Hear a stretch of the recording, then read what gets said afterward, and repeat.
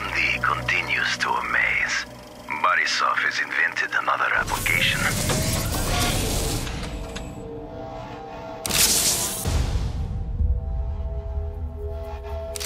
This one he calls Deadlock.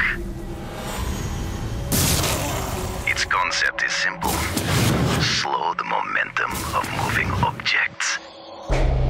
You can stop enemies in their tracks.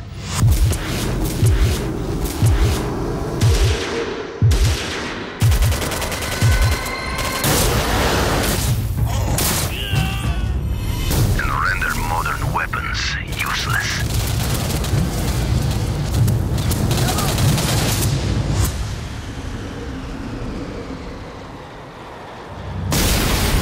He who possesses the TMD possesses the power to change the world.